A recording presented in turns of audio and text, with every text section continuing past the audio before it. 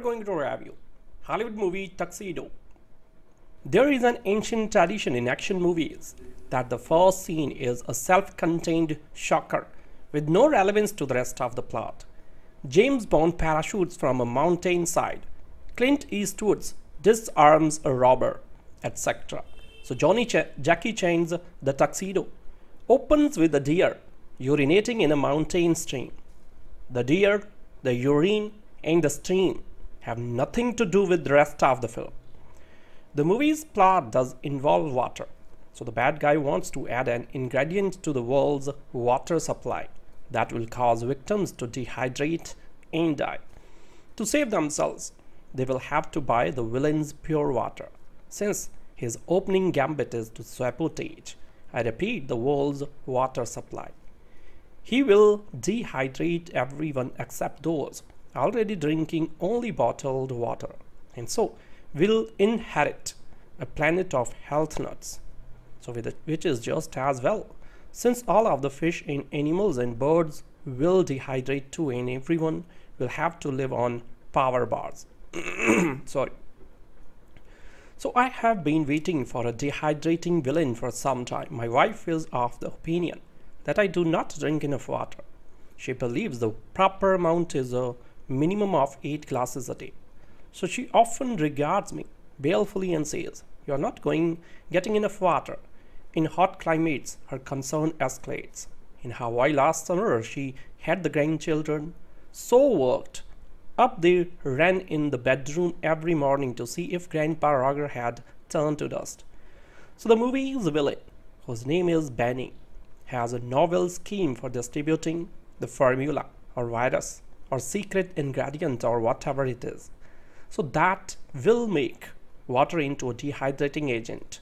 He plans to use water striders, those insects that can skate across the surface of a pond in his secret laboratory. He keeps his ultimate weapon a powerful water strider queen. Do water striders have queens? So like bees and ants do.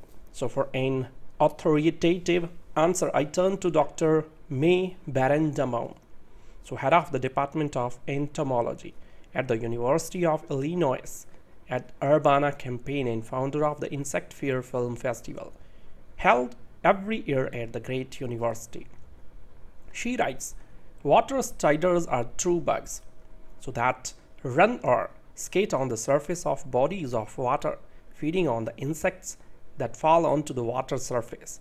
So there are about 500 species of gerrids in the world and as far as I know, not a single one of those 500 species is, is social.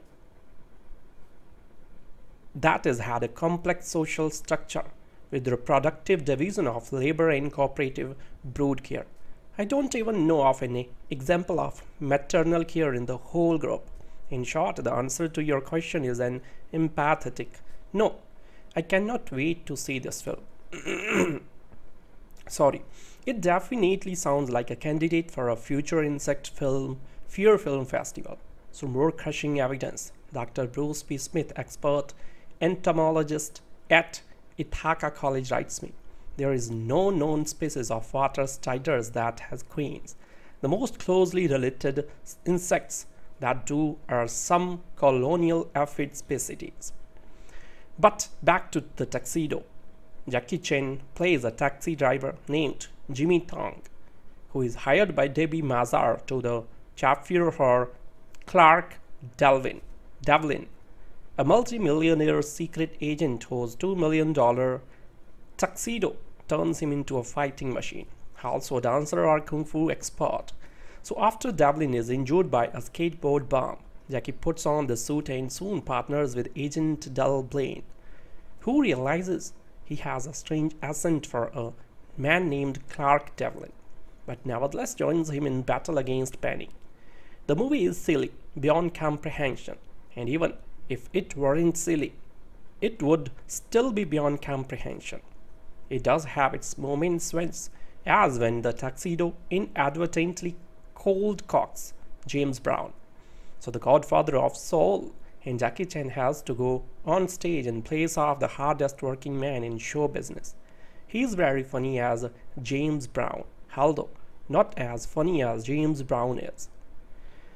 There's something engaging about Jackie Chan, even in a bad movie. I like him because what you see is so obviously what you get. So this time he goes light on the stunts. At least the stunts he obviously does himself. So that during the closing credits, there are lots of flubbed lines and times when the actors break out laughing.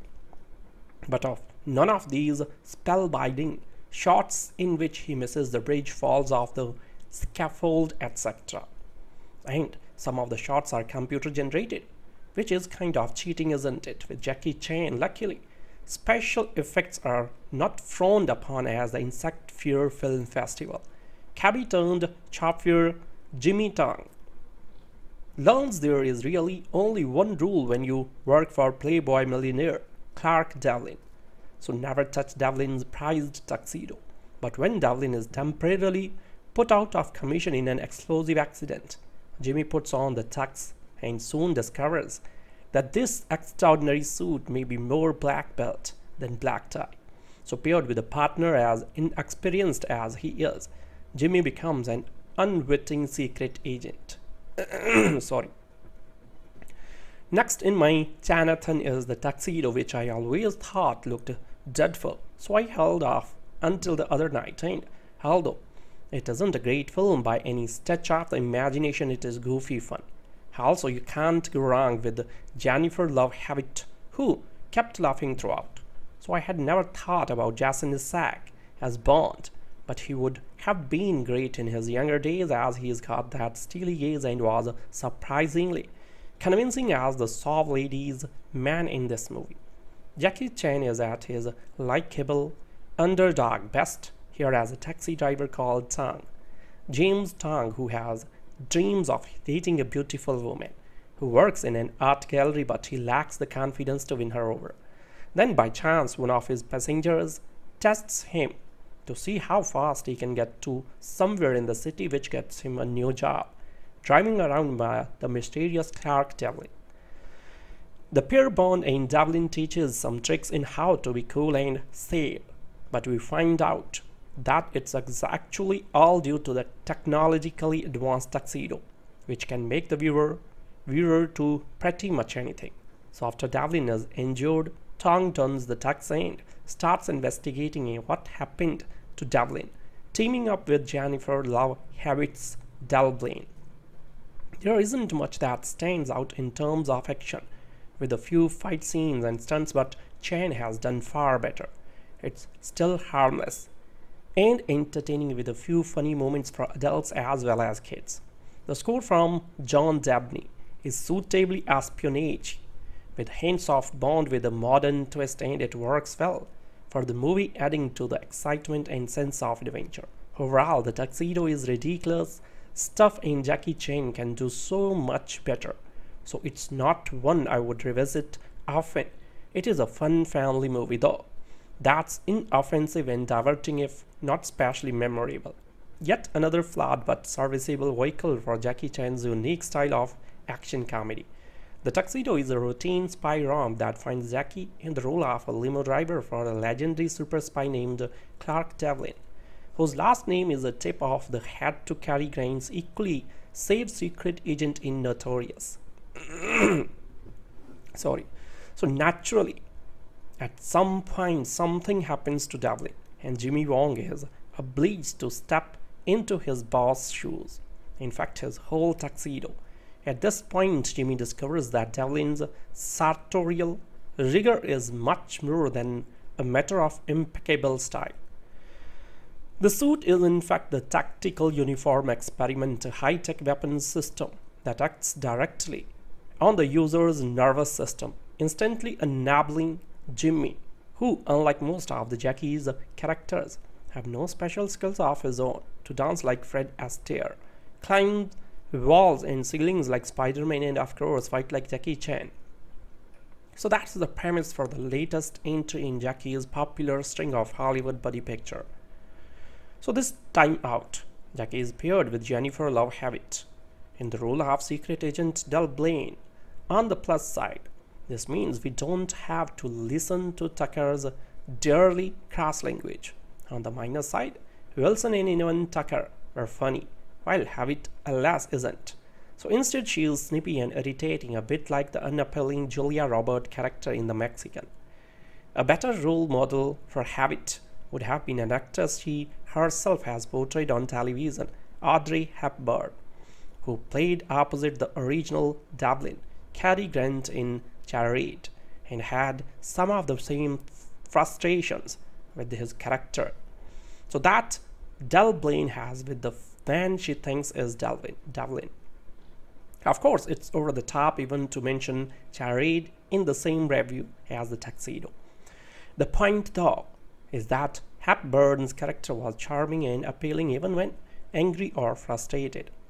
And it's not asking too much to expect a comedy of this sort to allow the audience to have some affection for both its male and female leads. After all, it's not like we are here for the riveting drama. So as if to compensate for this, first-time director Kevin Donovan does give Jackie more room to work than Brett Ratner have been willing to give him in the Rush Hour movies. Rather, he is jerking convulsively around Devlin's room trying to master the secrets of the tuxedo frantically, fending off a squad of assassins while dealing with a rope around his neck that ends up wrapped around objects and attackers alike, or booging on stage in a hilarious impression of James Brown. Jackie is as ever a joy to watch. So I can even reconcile myself to an extent to the film's departure from Jackie's rigorous stunt ethic by its introduction of wire work and stunt doubles. So because the tuxedo supposedly enables Jackie to perform genuinely superhuman feats, the wire work is an excuse, excusable device. So as for the as for the stunt doubles, well, we know Jackie can't do backflips like that, or so it's a foregone conclusion that it's not him, but it's obvious that he is still working hard. The man is getting older, after all, and, and Hollywood studios tend to be very protective of stars and can make it difficult for Jackie to do everything he wants to do. Jackie has said that in the tuxedo in particular he was given very little control over with stunts he could or couldn't do, whereas in the coming Shanghai Knights he had almost free reign. I see that. Other than the spy impersonation device, I have said almost nothing about the actual plot of the movie, certainly nothing about the villain, a bottled water magnate, with a preposterous sci-fi scheme to sabotage the world's water supply and establish himself as a global water czar. So that's as it should be. As with the typical James Bond film, the plot is basically irrelevant. The point is what's happening on the screen. Unfortunately, the tuxedo is further marred by gratuitous, even forced crude and humor, as well as a couple of needlessly disgusting special effects, death scenes in which human beings are exposed to a special toxin that leaves them almost instantly desiccated, like dried up, shriveled corpses. And let's not forget the opening scene in which Donovan sets a new low for bad taste by beginning with a lovely tableau with the deer drinking in a pool beneath a pristine waterfall before pointlessly zooming in on the deer urinating into the pool. The thought here apparently is that this is what sells to young American Philistines. Jackie's Hong Kong films can be jarring to American audiences, but they are seldom this raunchy he says he likes to make movies that families can watch together and still repeats his mantra no dirty jokes, no dirty words. Unfortunately, he hasn't been able to sell this part of his formula to Hollywood. Yet, when I watch Jackie slide down the outside of 120 foot silo, I think this is why I am here, in spite of the movie's faults. I'm glad for this opportunity to watch Jackie Chan do what nobody else in the movie is doing, as with the Rush Hour movies. I can't quite recommend the tuxedo, but can't deny that I enjoy it either. You can tell how recent one of Jackie's Chan movie is the by the size of his nose. Sorry. Gogging its spread, it's like counting the rings in the core of a tree.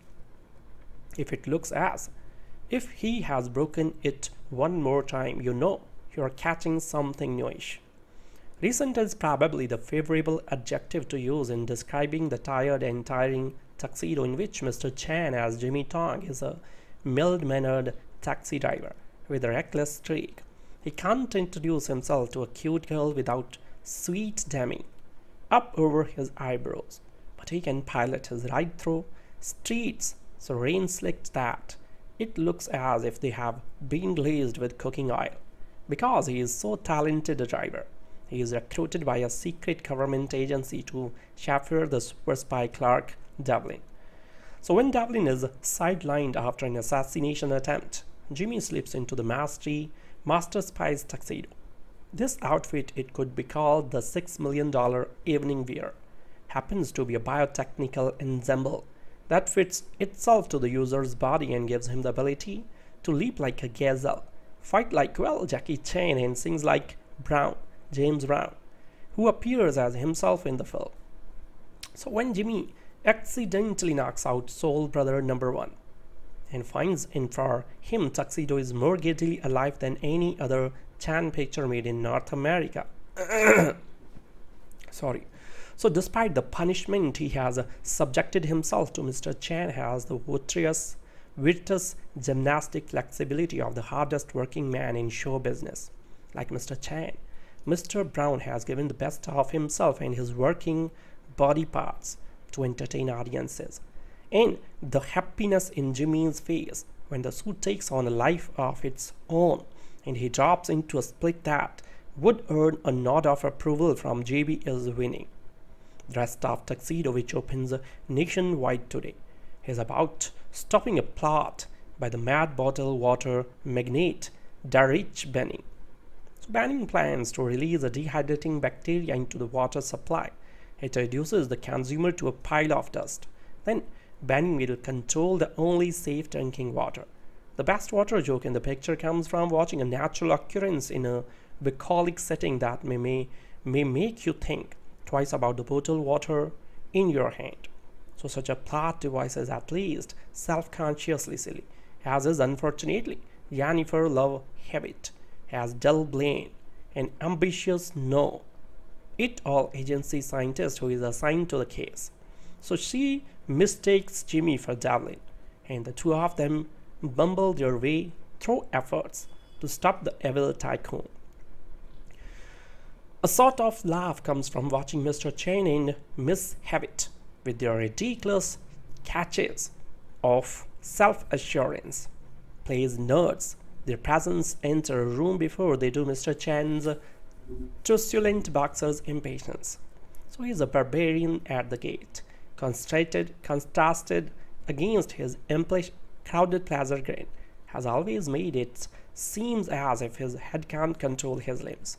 So when the director, Kevin Donovan, working from a script that had a germ of a good idea, keeps things moving, the picture is amiable because it exploits Mr. Chan's specialty of martial slapstick. And pairing him with the novice is a continuation of the odd couple sucker punches of Shanghai Noon and Rush Hour that finally made Mr. Chan a star in the United States. So Miss Hewitt brings something unusual out in Mr. Chan, a quality that half avuncular and half wolf, King Lear and Miss Hewitt legitimately seems to be having fun because who would stand next to Mr. Chan and not to be transfixed by his exertions? Still, you can't help wanting more from Mr. Chan, the most adept physical comedian in film. There are few performers whose all-out exertions and knockabouts could cheer elicit such immediate and fantastic audience rapport. So probably the only reason we tolerate Mr. Chan in the uh, chauffeur's uniform is that it's reminiscent of Bruce Lee's Kato. And at some point we know he will explode like Lee. The tuxedo may have been tailored just for Mr. Chan, but it still feels like off the rack garb. And by now Mr. Chan deserves much better than a hand-me-down suit that smells like a rental. Director Donovan and writers Michael Leeson and Michael Wilson ought to be shipped off on a slow boat to China and forced to toil as in unpaid fight scene extras in the faltering Hong Kong film industry for their inexcusable crime of wasting the Peking opera trained talents of Jackie Chan in this dull, witless, and exhaustingly incomprehensible affair. It's akin to hiring Tiger Woods as your weekend golf ringer and relegating him to caddy duties, but worse, Chan, who has achieved legendary status over the past three decades thanks to his astounding feats of martial artistry and sly comedic skills, uses wire harness rigs for the first time. That I know of and becomes completely lost amid a ridiculous story. Granted, many of the actor's previous films in Hong Kong were hardly sterling examples of the filmmaking finesse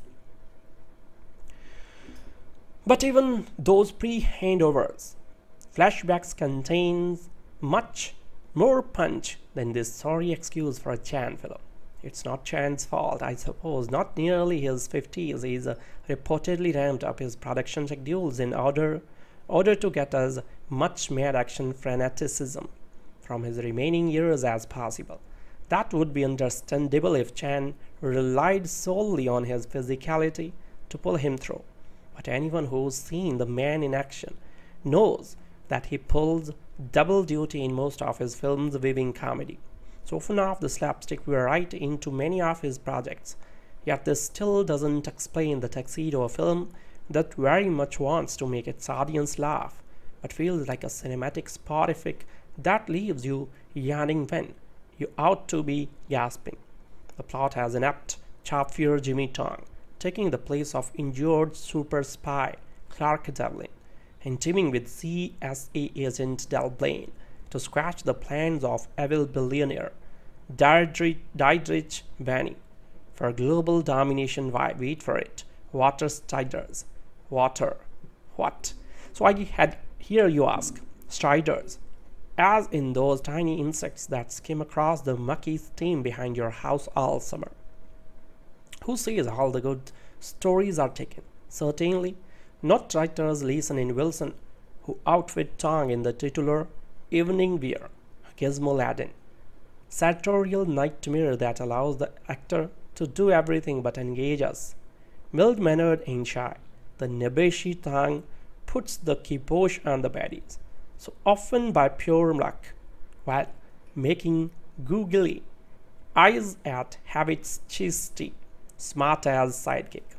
As Chan pictures go, this one is pure slurry, full of gags so silly they annoy even more than the pop art dance sequence in City Hunter and suffering mightily from a bad case of lowest common denominator scripting. Most indicative of the tuxedo's mediocrity, however, is the absence of the always entertaining action outtakes that traditionally roll under the end credit of Chan films. Here it's all dialogue flubs barely fit for Clark.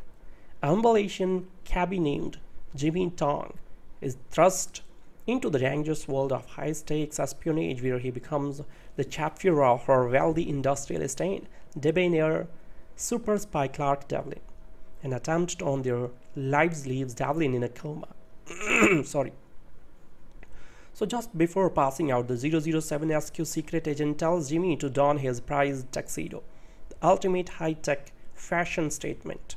So Jimmy quickly discovers that these fancy threads have a mind of their own and give the viewer superhuman speed, martial arts skills, and countless other talents, including the ability to sing and dance like James Brown. Unsure of his mission, Tong masquerades as Devlin, long enough to get sucked into a case involving a bottled water tycoon out to corner the market. The diabolical Dietrich Banning intends to contaminate the world's water supply with lethal bacteria that will kill people by dehydrating them, thus forcing everyone to rely on him for their H2O. But Tong and his tux aren't the only ones standing between the dispassionate European and world domination. Jimmy's sidekick is Del Blaine, an attractive young rookie agent only slightly more experienced than he is. She thinks she is assisting the legendary Clark Devlin, but soon finds herself calling most of the shots. Together, Jimmy and Del must bring down the bad guy before he drives everyone to drink. The Tuxedo isn't the worst film of the year, but it's not a good, very good one. A tepid blend of action, intrigue, and comedy. It comes off as a dumbed down James Bond flick infused with Chan's trademark flurries of prop enhanced hand to hand combat. The humor fails more often than not. In fact, the audience laughed more while outtakes ran beside the credits that than it did during the previous 90 minutes. So that's not to say the movie doesn't have its enjoyable moments. It does. Most come from Chan's natural charm. So there is a cute closing scene in which Jimmy's new friends use their spy smarts and gadgetry to help him ask out a pretty girl. Chan fine fans will enjoy seeing where his wild stunts displayed in a new genre. But a tuxedo should never look silly or cheap. Some snazzy visual effects aside, this one does. Maybe it's the print I saw, but the audio was lousy in places, specifically the dialogue which sounded like people mumbling into Dixie cups. Hewitt can be a sweet, even a strong presence on screen, but here she comes off as a spoiled, sparing adolescent looking for an excuse to top at attitude. It's one snit after another with cleavage, so add violent and few material and the tuxedo fails to make a classy impression. There is an ancient tradition in action movies that the first scene is a self-contained shocker with no relevance to the rest of the plot. James Bond parachutes from a mountainside. Clint Eastwood's disarms a robber, etc. So Johnny Ch Jackie Chan's The Tuxedo opens with a deer urinating in a mountain stream. The deer, the urine, and the stream have nothing to do with the rest of the film. The movie's plot does involve water, so the bad guy wants to add an ingredient to the world's water supply that will cause victims to dehydrate and die. To save themselves, they will have to buy the villain's pure water, since his opening gambit is to sabotage, I repeat, the world's water supply. He will dehydrate everyone except those already drinking only bottled water, and so will inherit a planet of health nuts. So which is just as well, since all of the fish and animals and birds will dehydrate too and everyone will have to live on power bars. Sorry. So I have been waiting for a dehydrating villain for some time. My wife is of the opinion that I do not drink enough water. She believes the proper amount is a minimum of 8 glasses a day. So she often regards me balefully and says, You're not going getting enough water. In hot climates, her concern escalates. In Hawaii last summer, she had the grandchildren so worked up they ran in the bedroom every morning to see if Grandpa Roger had turned to dust. So the movie's villain, whose name is Banning, has a novel scheme for distributing the formula or virus or secret ingredient or whatever it is. So that will make water into a dehydrating agent. He plans to use water striders. Those insects that can skate across the surface of a pond in his secret laboratory. He keeps his ultimate weapon a powerful water strider queen. Do water striders have queens? So like bees and ants do. So for an authoritative answer, I turn to Dr. May Berenbaum, so head of the Department of Entomology at the University of Illinois at Urbana-Champaign and founder of the Insect Fear Film Festival, held every year at the great university. She writes, Water striders are true bugs, so that run or skate on the surface of bodies of water, feeding on the insects that fall onto the water surface. So there are about 500 species of gerrids in the world and as far as I know, not a single one of those 500 species is, is social. That has had a complex social structure with reproductive division of labor and cooperative brood care. I don't even know of any example of maternal care in the whole group. In short, the answer to your question is an empathetic no. I cannot wait to see this film. Sorry. It definitely sounds like a candidate for a future insect film, fear film festival. So more crushing evidence. Dr. Bruce P. Smith, expert entomologist at Ithaca College writes me. There is no known species of water striders that has queens. The most closely related insects that do are some colonial aphid species. But back to the tuxedo. Jackie Chan plays a taxi driver named Jimmy Tong, who is hired by Debbie Mazar to the chauffeur for Clark Delvin, Devlin, a multi-millionaire secret agent whose $2 million tuxedo turns him into a fighting machine, also a dancer or kung fu expert. So after Devlin is injured by a skateboard bomb, Jackie puts on the suit and soon partners with Agent Del Blaine, who realizes he has a strange accent for a man named Clark Devlin but nevertheless joins him in battle against Banning. The movie is silly, beyond comprehension, and even if it weren't silly, it would still be beyond comprehension. It does have its moments as when the tuxedo inadvertently cold cocks James Brown. So the godfather of soul and Jackie Chan has to go on stage in place of the hardest working man in show business. He's very funny as James Brown, although not as funny as James Brown is.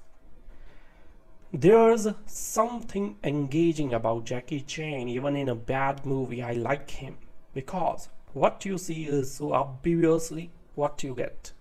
So this time he goes light on the stunts. At least the stunts he obviously does himself. So that during the closing credits there are lots of flubbed lines and times when the actors break out laughing. But of none of these spellbinding shots in which he misses the bridge, falls off the scaffold, etc. And some of the shots are computer generated, which is kind of cheating, isn't it? With Jackie Chan, luckily, special effects are not frowned upon as the Insect Fear Film Festival. Cabby turned chauffeur Jimmy Tong learns there is really only one rule when you work for Playboy millionaire Clark Devlin. So never touch Devlin's prized tuxedo. But when Devlin is temporarily put out of commission in an explosive accident, Jimmy puts on the tux and soon discovers that this extraordinary suit may be more black belt than black tie. So paired with a partner as inexperienced as he is, Jimmy becomes an unwitting secret agent. Sorry. Next in my Chinatown is the tuxedo which I always thought looked dreadful. So I held off until the other night and although it isn't a great film by any stretch of the imagination, it is goofy fun. Also, you can't go wrong with Jennifer Love Hewitt who kept laughing throughout. So I had never thought about Jason Isaac as Bond, but he would have been great in his younger days as he's got that steely gaze and was surprisingly convincing as the soft lady's man in this movie.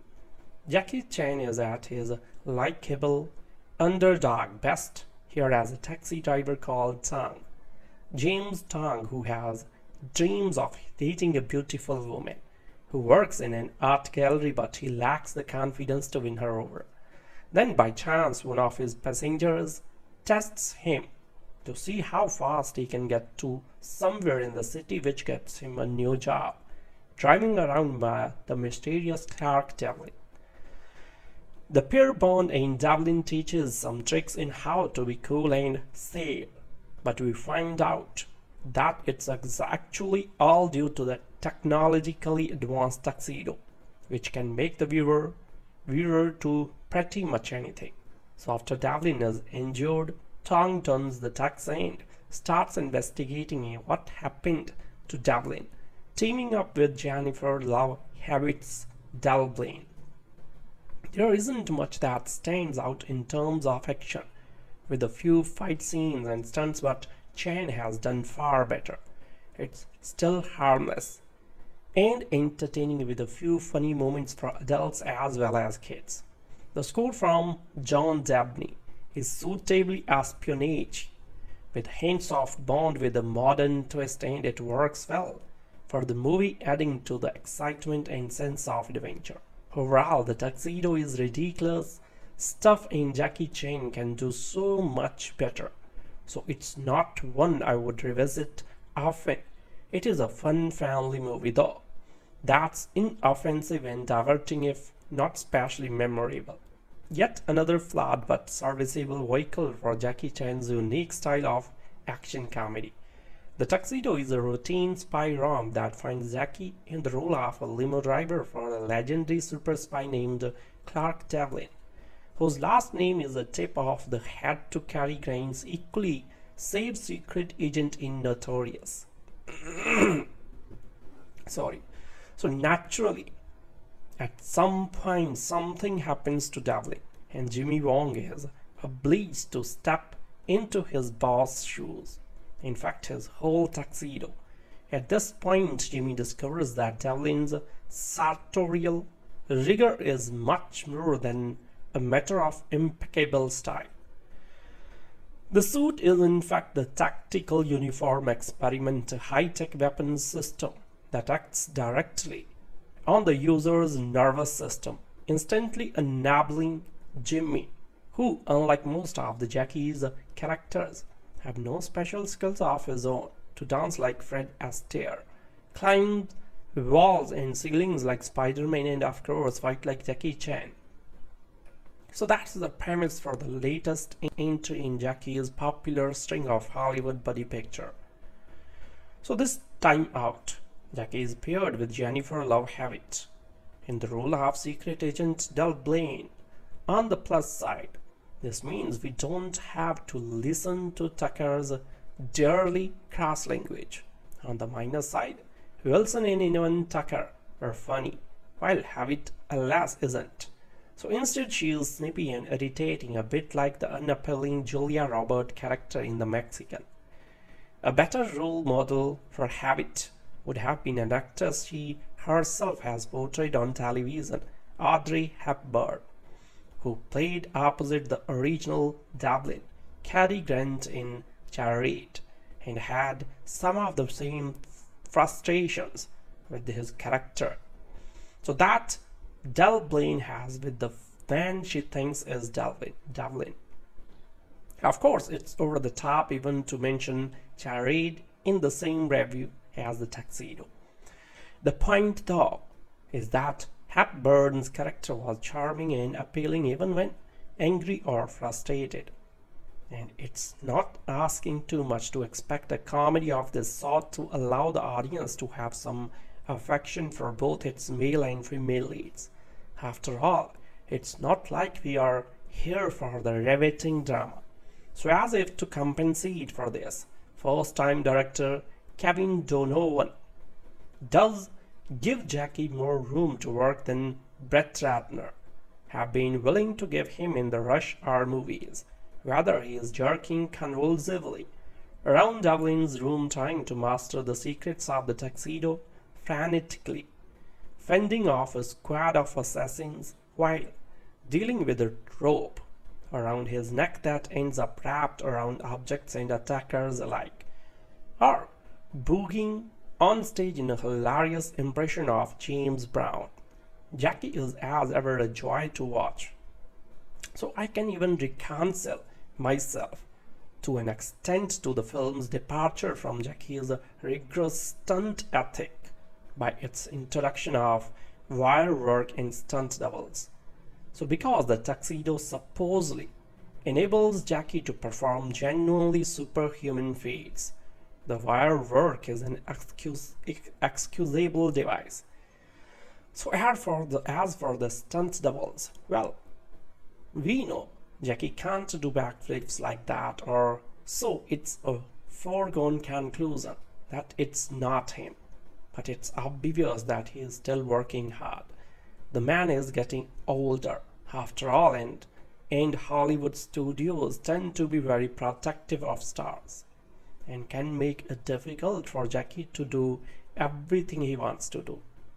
Jackie has said that in the tuxedo in particular he was given very little control over with stunts he could or couldn't do, whereas in the coming Shanghai Knights he had almost free rein. I see that. Other than the spy impersonation device, I have said almost nothing about the actual plot of the movie, certainly nothing about the villain, a bottled water magnate, with a preposterous sci-fi scheme to sabotage the world's water supply and establish himself as a global water czar. So that's as it should be. As with the typical James Bond film, the plot is basically irrelevant. The point is what's happening on the screen. Unfortunately, the tuxedo is further marred by gratuitous, even forced crude and humor, as well as a couple of needlessly disgusting special effects, death scenes in which human beings are exposed to a special toxin that leaves them almost instantly desiccated, like dried up, shriveled corpses. And let's not forget the opening scene in which Donovan sets a new low for bad taste by beginning with a lovely tableau with the deer drinking in a pool beneath a pristine waterfall before pointlessly zooming in on the deer urinating into the pool. The thought here apparently is that this is what sells to young American Philistines. Jackie's Hong Kong films can be jarring to American audiences but they are seldom this raunchy. He says he likes to make movies that families can watch together and still repeats his mantra no dirty jokes, no dirty words. Unfortunately, he hasn't been able to sell this part of his formula to Hollywood. Yet, when I watch Jackie slide down the outside of 120 foot silo, I think this is why I am here in spite of the movie's faults. I'm glad for this opportunity to watch Jackie Chan do what nobody else in the movie is doing, as with the Rush Hour movies. I can't quite recommend the tuxedo, but can't deny that I enjoy it either. You can tell how recent one of Jackie's Chan movie is the by the size of his nose. Sorry. Gogging it spread its like counting the rings in the core of a tree. If it looks as if he has broken it one more time, you know you're catching something newish.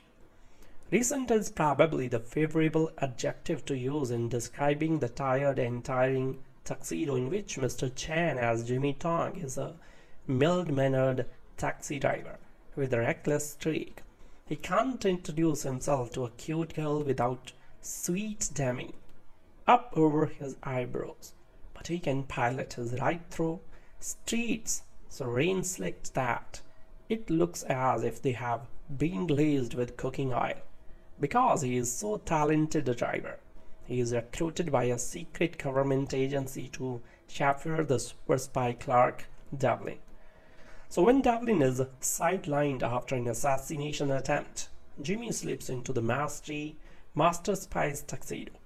This outfit, it could be called the $6 million evening wear, happens to be a biotechnical ensemble that fits itself to the user's body and gives him the ability to leap like a gazelle fight like, well, Jackie Chan and sings like Brown, James Brown, who appears as himself in the film.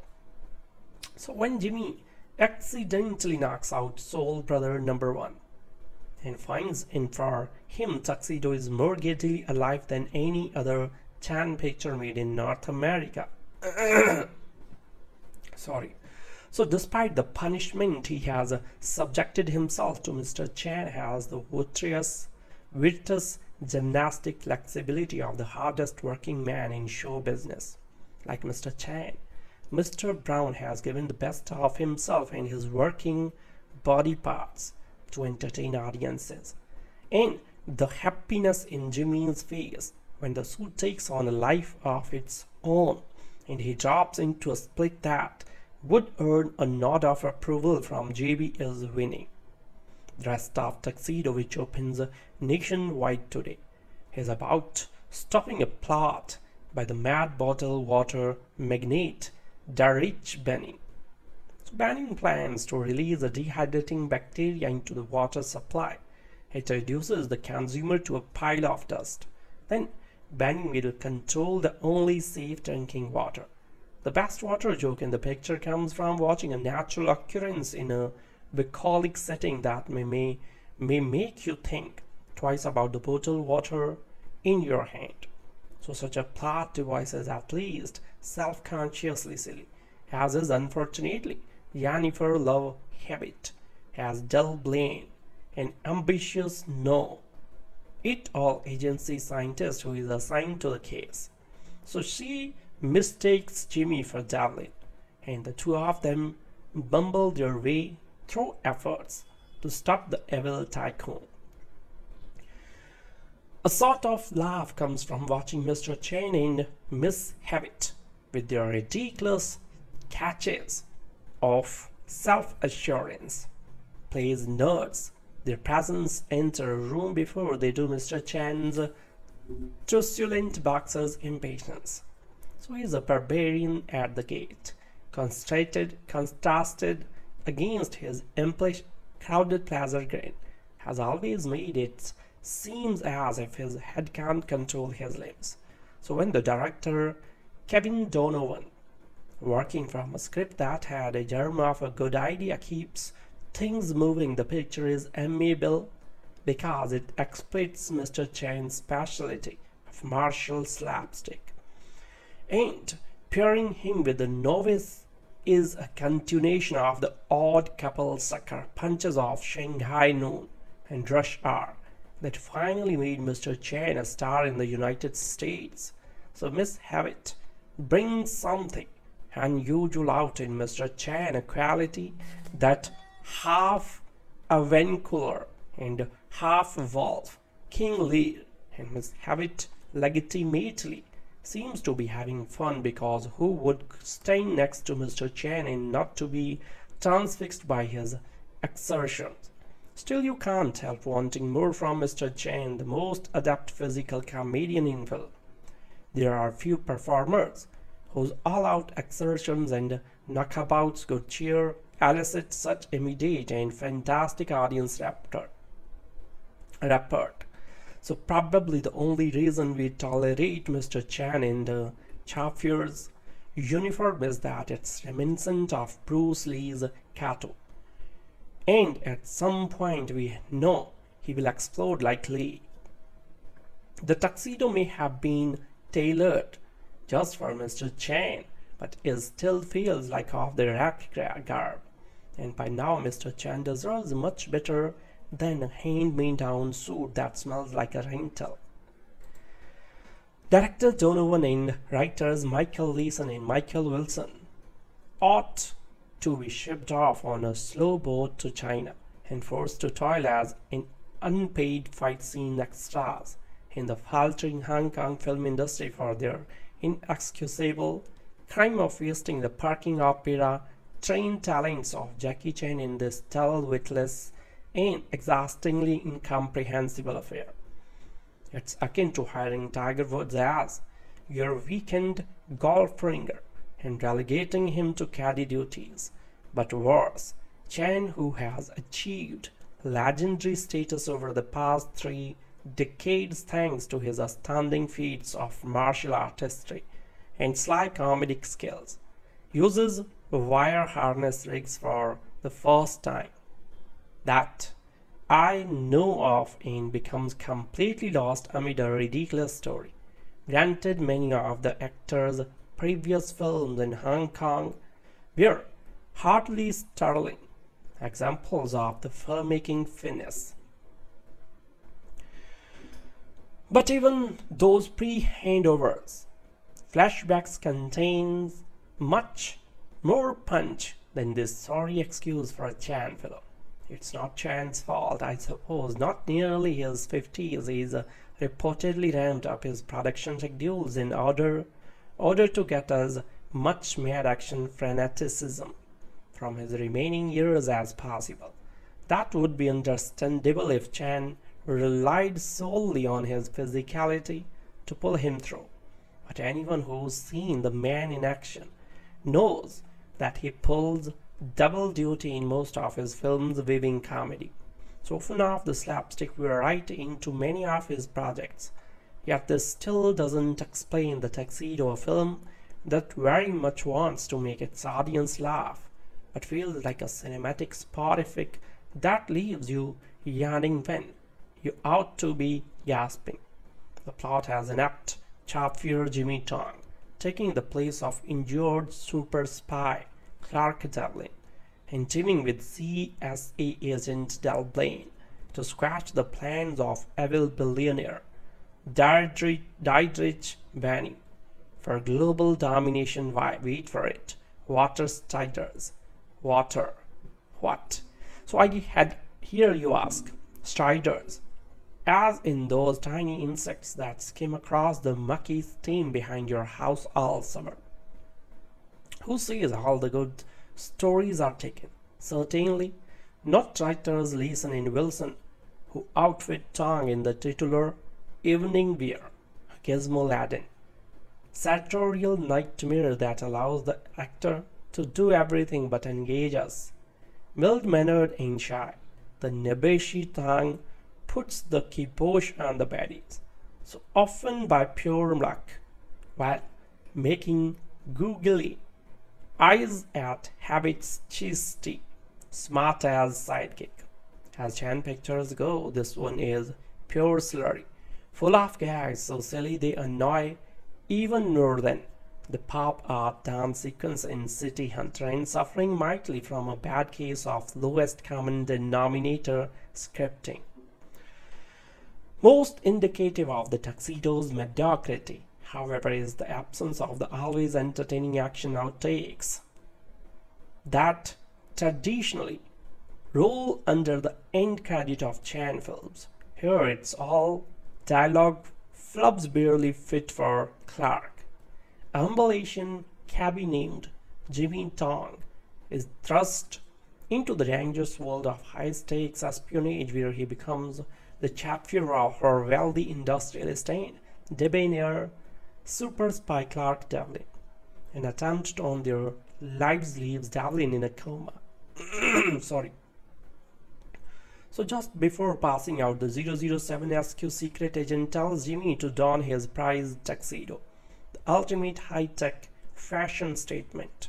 So Jimmy quickly discovers that these fancy threads have a mind of their own and give the viewer superhuman speed, martial arts skills, and countless other talents, including the ability to sing and dance like James Brown.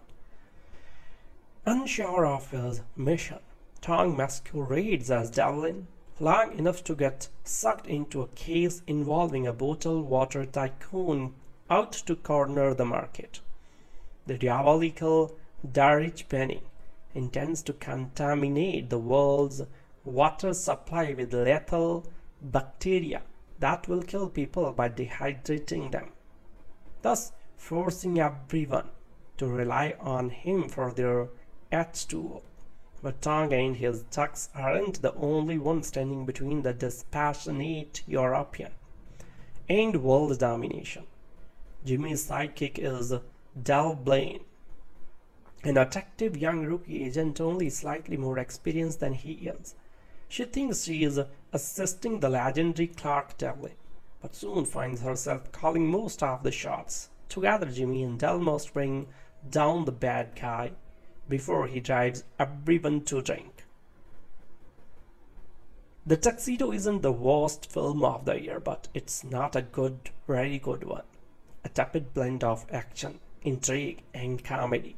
It comes off as a dumbed down James Bond flick infused with Chan's trademark flurries of prop enhanced hand to hand combat. The humor fails more often than not. In fact, the audience laughed more while outtakes ran beside the credits that than it did during the previous 90 minutes. So that's not to say the movie doesn't have its enjoyable moments. It does. Most come from Chan's natural charm. So there is a cute closing scene in which Jimmy's new friends use their spy smarts and gadgetry to help him ask out a pretty girl. Chan fine fans will enjoy seeing where his wild stunts displayed in a new genre. But a tuxedo should never look silly or cheap. Some snazzy visual effects aside, this one does.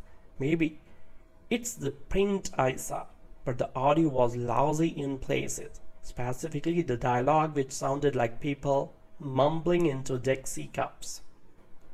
Hewitt can be a sweet, even a strong presence on screen. But here, she comes off as a spoiled, sparing adolescent looking for an excuse to top at attitude.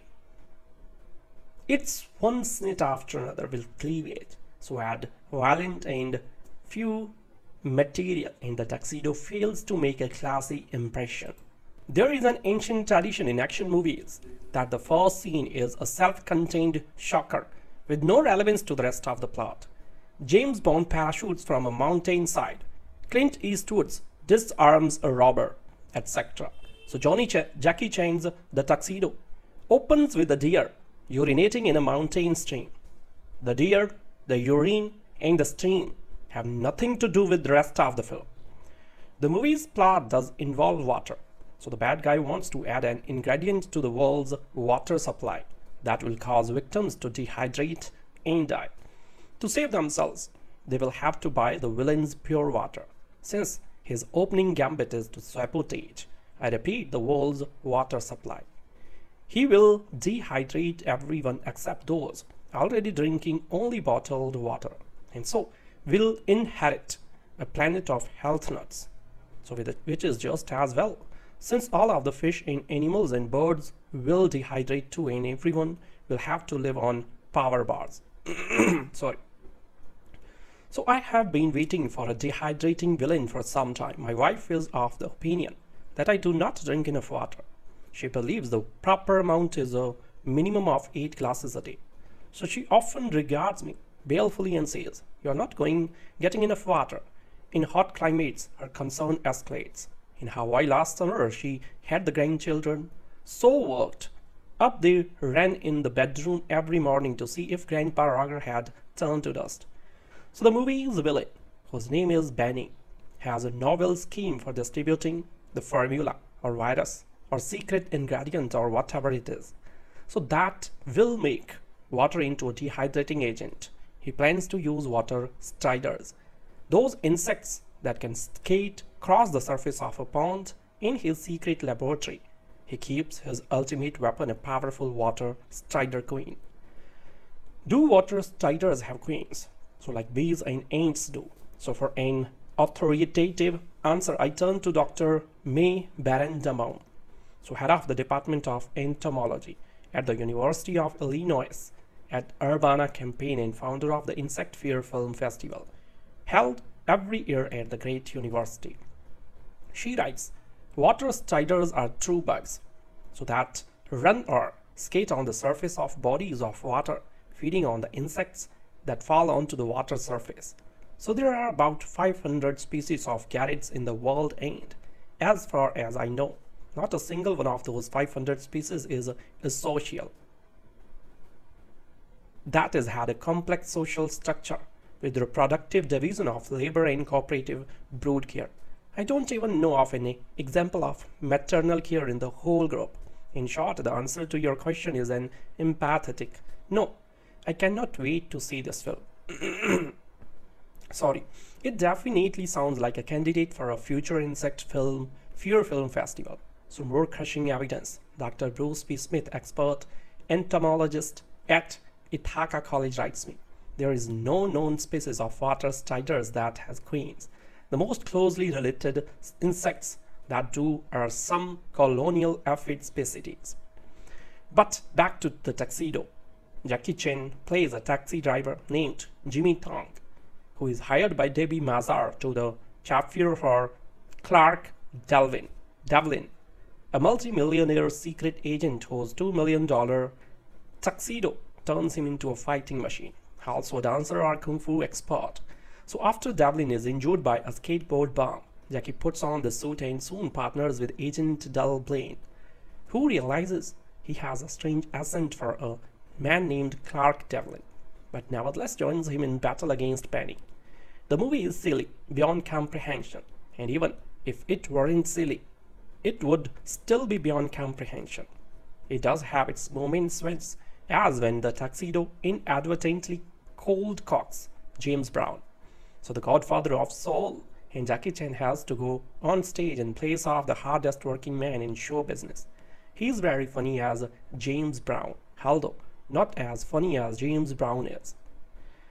There's something engaging about Jackie Chan, even in a bad movie, I like him because what you see is so obviously what you get. So this time he goes light on the stunts. At least the stunts he obviously does himself. So that during the closing credits, there are lots of flubbed lines and times when the actors break out laughing.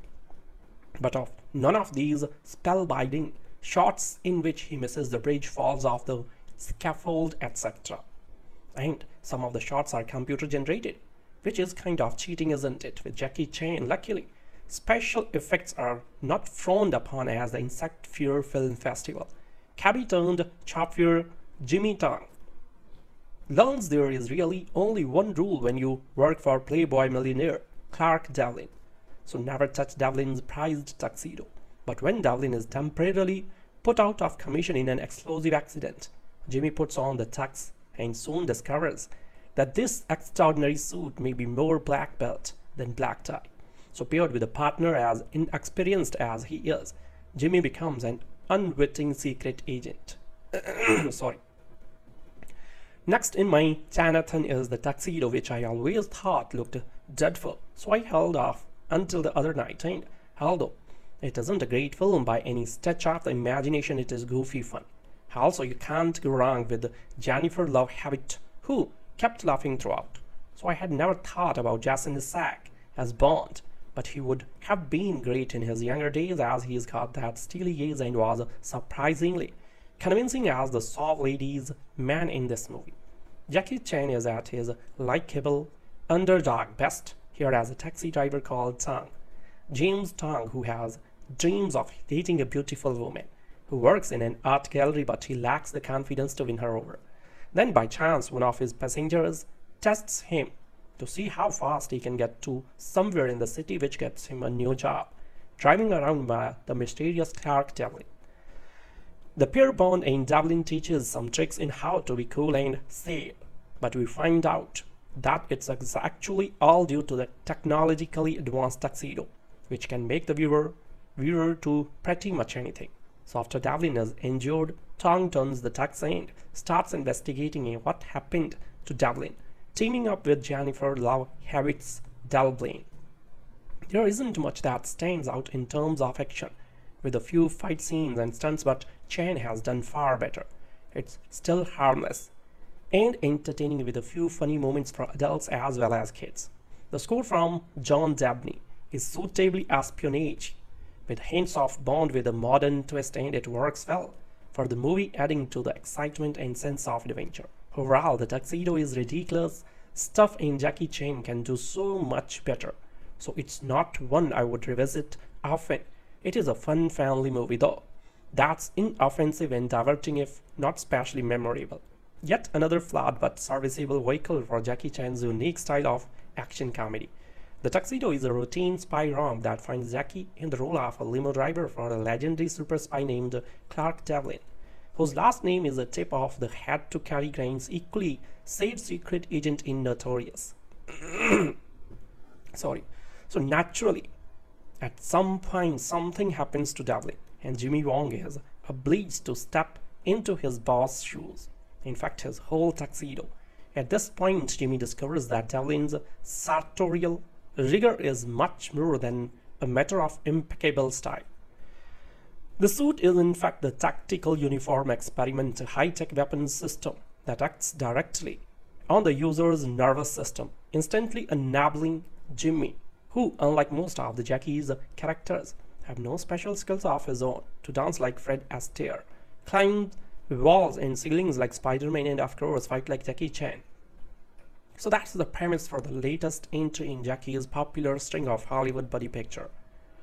So this time out, Jackie is paired with Jennifer Love Hewitt in the role of secret agent Del Blaine. On the plus side, this means we don't have to listen to Tucker's dirty crass language. On the minus side, Wilson and even Tucker are funny, while Hewitt alas isn't. So instead she is snippy and irritating, a bit like the unappealing Julia Robert character in The Mexican. A better role model for Hewitt would have been an actress she herself has portrayed on television, Audrey Hepburn, who played opposite the original Devlin, Cary Grant in Charade, and had some of the same frustrations with his character. So that Del Blaine has with the man she thinks is Delvin. Of course, it's over the top even to mention Charade in the same review as the Tuxedo. The point, though, is that Hepburn's character was charming and appealing even when angry or frustrated. And it's not asking too much to expect a comedy of this sort to allow the audience to have some affection for both its male and female leads. After all, it's not like we are here for the riveting drama. So as if to compensate for this, first-time director Kevin Donovan does give Jackie more room to work than Brett Ratner have been willing to give him in the Rush Hour movies. Rather, he is jerking convulsively around Devlin's room trying to master the secrets of the tuxedo frantically, fending off a squad of assassins while dealing with a rope around his neck that ends up wrapped around objects and attackers alike, or booging on stage in a hilarious impression of James Brown. Jackie is as ever a joy to watch. So I can even reconcile myself to an extent to the film's departure from Jackie's rigorous stunt ethic by its introduction of wire work and stunt doubles. So because the tuxedo supposedly enables Jackie to perform genuinely superhuman feats, the wire work is an excuse, excusable device. So as for, the, as for the stunt doubles, well, we know Jackie can't do backflips like that or so it's a foregone conclusion that it's not him. But it's obvious that he's still working hard. The man is getting older after all and, and Hollywood studios tend to be very protective of stars and can make it difficult for Jackie to do everything he wants to do. Jackie has said that in the tuxedo in particular he was given very little control over with stunts he could or couldn't do, whereas in the coming Shanghai Knights he had almost free reign. I see that. Other than the spy impersonation device, I have said almost nothing about the actual plot of the movie, certainly nothing about the villain, a bottled water magnate, with a preposterous sci-fi scheme to sabotage the world's water supply and establish himself as a global water czar. So that's as it should be. As with the typical James Bond film, the plot is basically irrelevant. The point is what's happening on the screen. Unfortunately, the tuxedo is further marred by gratuitous, even forced crude and humor, as well as a couple of needlessly disgusting special effects, death scenes in which human beings are exposed to a special toxin that leaves them almost instantly desiccated, like dried up, shriveled corpses. let's not forget the opening scene in which Donovan sets a new low for bad taste by beginning with a lovely tableau with a deer drinking in a pool beneath a pristine waterfall before pointlessly zooming in on the deer urinating into the pool. The thought here apparently is that this is what sells to young American Philistines. Jackie's Hong Kong films can be jarring to American audiences, but they are seldom this raunchy. He says he likes to make movies that families can watch together and still repeats his mantra no dirty jokes, no dirty words. Unfortunately, he hasn't been able to sell this part of his formula to Hollywood. Yet, when I watch Jackie slide down the outside of 120 foot silo, I think this is why I am here. In spite of the movie's faults, I'm glad for this opportunity to watch Jackie Chan do what nobody else in the movie is doing, as with the Rush Hour movies.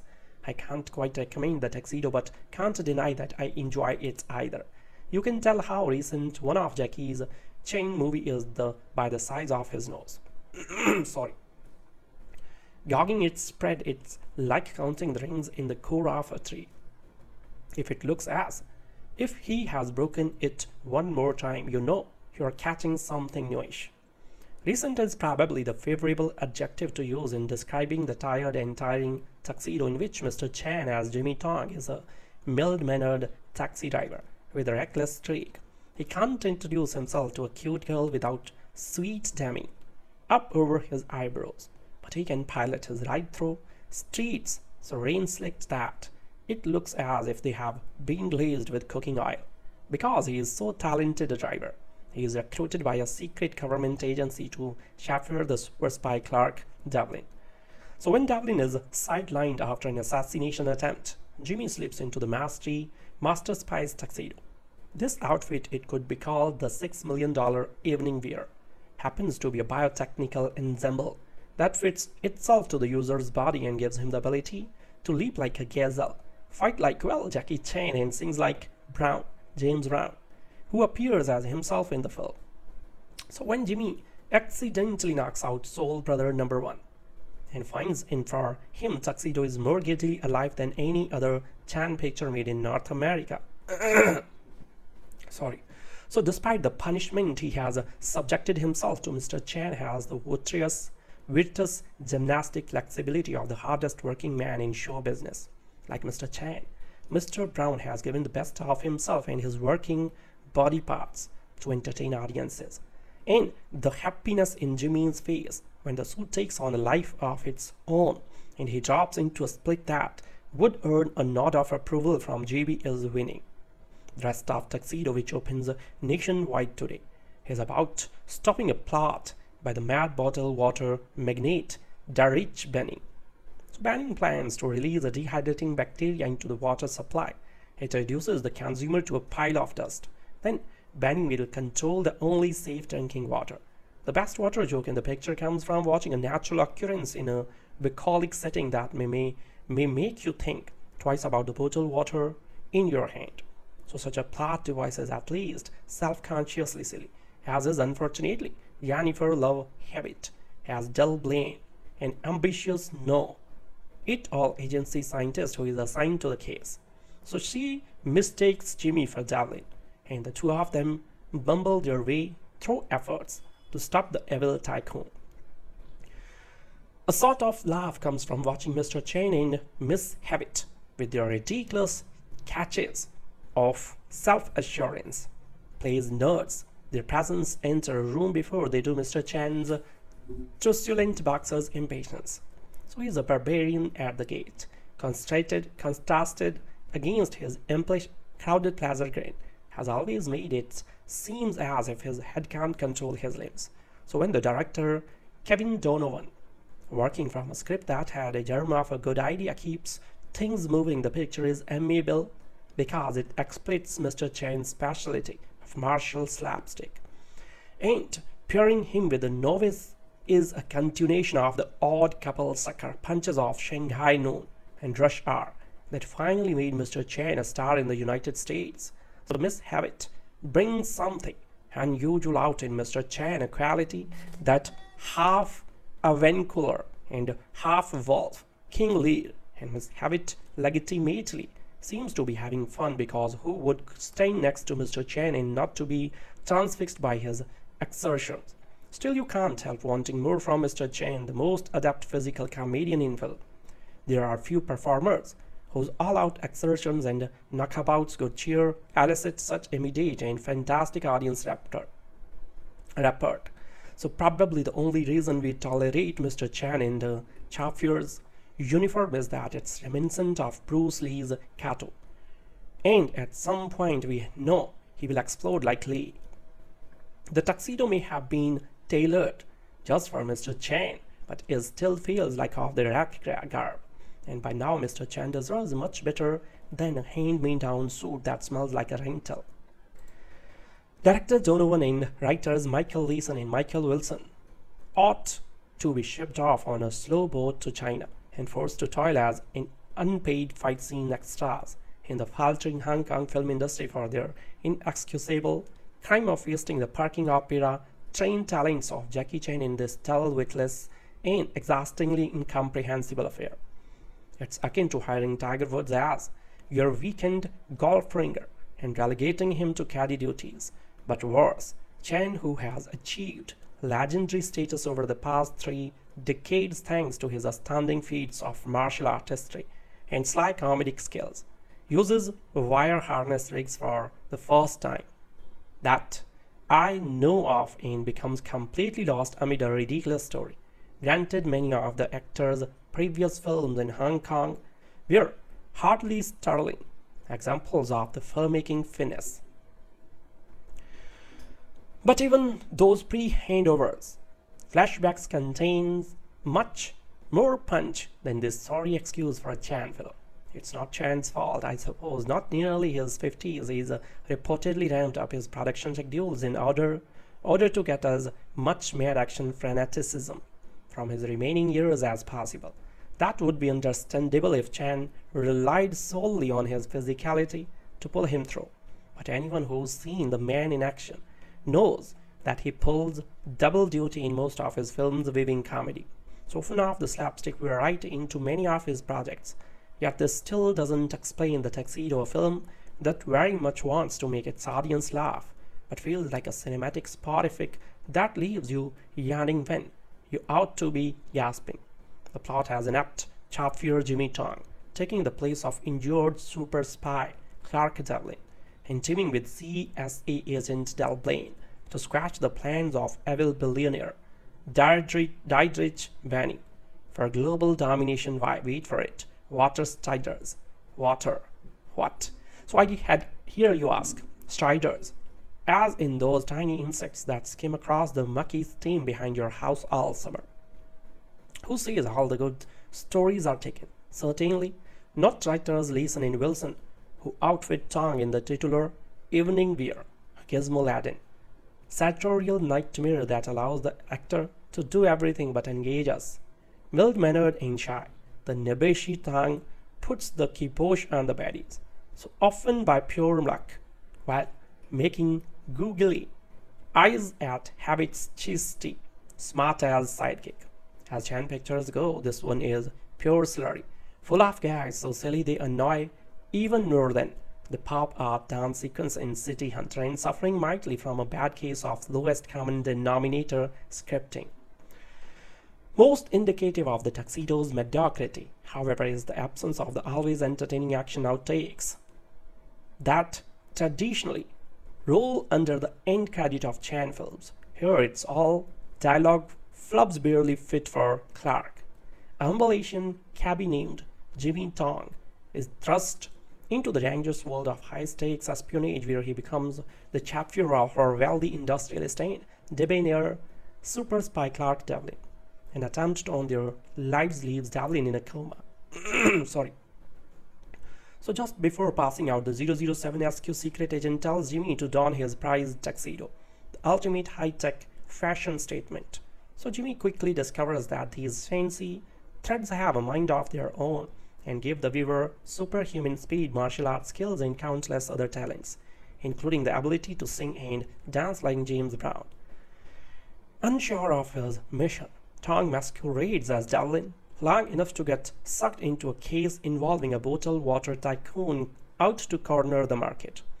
The diabolical Dietrich Benny intends to contaminate the world's water supply with lethal bacteria that will kill people by dehydrating them, thus forcing everyone to rely on him for their H2O. But Tong and his tux aren't the only ones standing between the dispassionate European and world domination. Jimmy's sidekick is Del Blaine, an attractive young rookie agent only slightly more experienced than he is. She thinks she is assisting the legendary Clark Devlin, but soon finds herself calling most of the shots. Together, Jimmy and Del must bring down the bad guy before he drives everyone to drink. The Tuxedo isn't the worst film of the year, but it's not a good, very good one. A tepid blend of action, intrigue, and comedy. It comes off as a dumbed down James Bond flick infused with Chan's trademark flurries of prop-enhanced hand-to-hand combat. The humor fails more often than not. In fact, the audience laughed more while outtakes ran beside the credits that than it's did during the previous 90 minutes. So that's not to say the movie doesn't have its enjoyable moments. It does.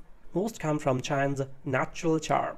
So there is a cute closing scene in which Jimmy's new friends use their spy smarts and gadgetry to help him ask out a pretty girl. And Chan fine fans will enjoy seeing where his wild stunts displayed in a new genre. But a tuxedo should never look silly or cheap. Some snazzy visual effects aside, this one does.